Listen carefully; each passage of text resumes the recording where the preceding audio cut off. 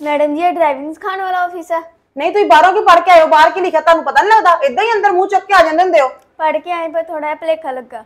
ਹਾਂਜੀ ਇਹ ਉਹ ਆਫਿਸ ਹੈ ਹੁਣ ਹੋ ਗਿਆ ਤੁਹਾਡਾ ਭੁਲੇਖਾ? ਦੂਰ ਦੱਸੋ। ਡਰਾਈਵਿੰਗ ਸਿੱਖਣੀ ਸੀਗੀ। ਨਹੀਂ ਲੱਤਾਂ ਤੁਹਾਡੀਆਂ ਪਹੁੰਚਦੀਆਂ ਨਹੀਂ ਕਲੱਚ ਬ੍ਰੇਕਾਂ ਤੱਕ ਡਰਾਈਵਿੰਗ ਤੁਸੀਂ ਕੀ ਸਿੱਖਣੀ ਆ ਚੱਲ ਦੌੜ ਜਾ ਇੱਥੋਂ। ਪਤਾ ਨਹੀਂ ਕਿੱਥੋਂ ਆ ਜਾਂਦੇ ਮੂੰਹ ਚੁੱਕ ਕੇ ਵੇਂਦੇ ਨਹੀਂ ਕਿੱਡੀ ਕੁ ਹੈਗੀ ਪਹਿਲਾਂ।